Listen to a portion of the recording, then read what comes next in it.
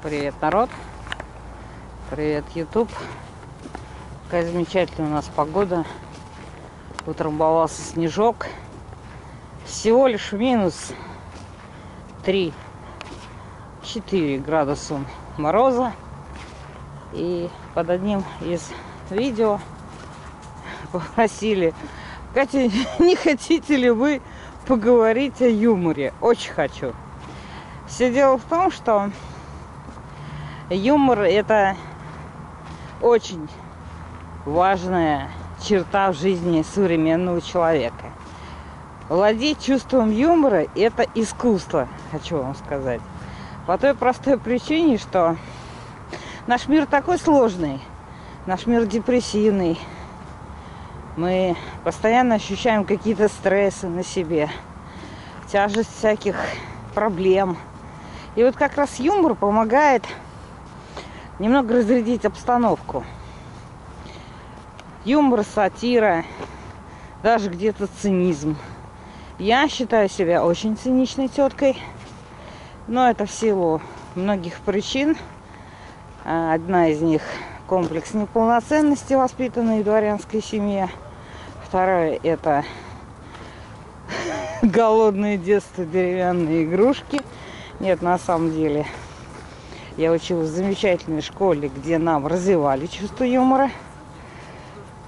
И третьих я росла в семье медиков и биологов, а там без черного циничного юмора ну просто никак. Включая анекдоты про смерть. Например, Шакир, пойдем. Например, умирает Абрам, вокруг него стоит все его клановое семейство. И скажи, скажи, Абрам, скажи, пока ты не умер, скажи, почему у тебя по такой получается хороший чай? Граждане евреи, не жалейте чая в заварку. И умирает.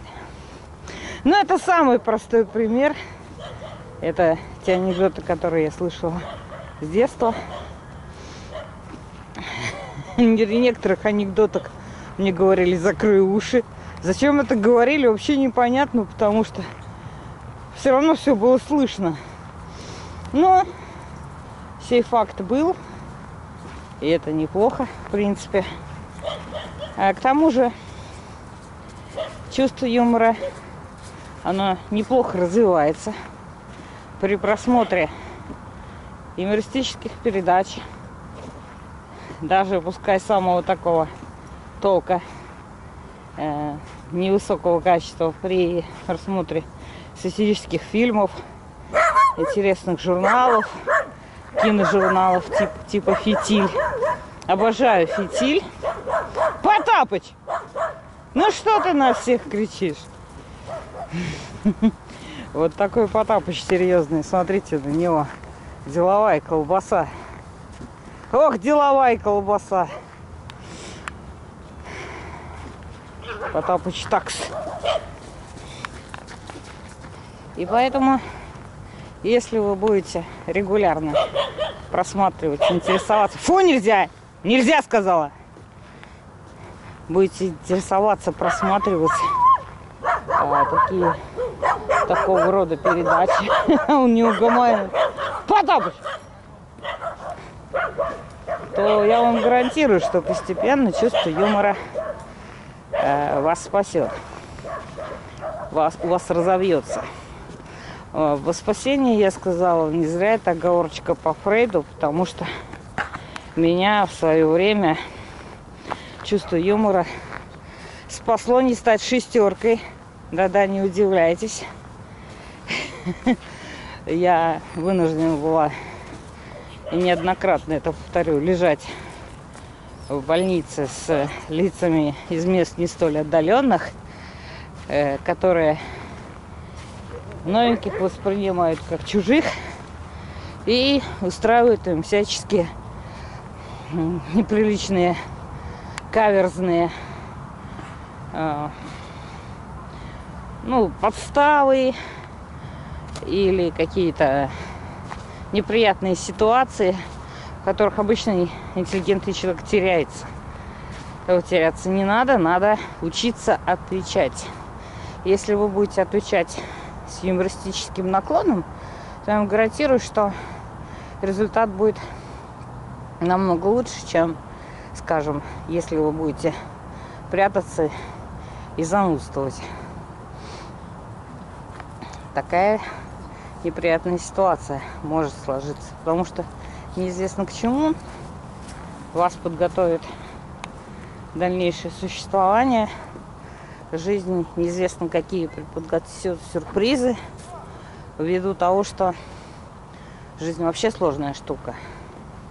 Умейте отвечать. Умейте приводить в пример смешные какие-то истории из жизни. Примечайте юмористические какие-то элементы, которые помогут вам выйти из крайне неудачной ситуации. Э, что касается для женщин особенно, вот мы виртуально очень хорошо дружим с каналом Юная Дива. И Леночка, как никто, владеет очень хорошим чувством юмора. И мне это нравится, мне это импонирует, потому что это действительно поддерживает, это оптимизирует, это дает некоторый, это такой, знаете, заряд молодости, бодрости. А, не бойтесь иногда казаться смешным. Конечно, когда это приходит к границе, как в моих пародиях, это иногда некрасиво, я это осознаю. Но не бойтесь быть смешным. И для женщин одиноких посоветую особенно развивать чувство юмора, потому что лучше быть э, озорной какашкой, чем, простите, унылым говном. И это по жизни так. К сожалению, не у всех лиц может развиться чувство юмора. Например, лица с задержкой психического развития и с легкой умственной отсталостью, они юмор не понимают. Но если тренировать навык, то можно вполне добиться неплохих результатов. Хотя бы по рассказыванию анекдотов. Например, легли вы, не дай бог, в больницу. Чем заниматься в больнице? Лежать и страдать ни в коем случае рассказывайте истории, рассказывайте анекдоты, рассказывайте, пересказывайте передачи юмористические, вы будете не только вознаграждены похвалами своих коллег по палате, но и будете, как говорится, популярны, обретете массу в себе знакомых и друзей. И это, опять же, говорю вам, вы это надо в себе развивать. Э, никому, поверьте мне, ни в одном коллективе не понравится зануда. Ни в одном. Будь то мужской или женский.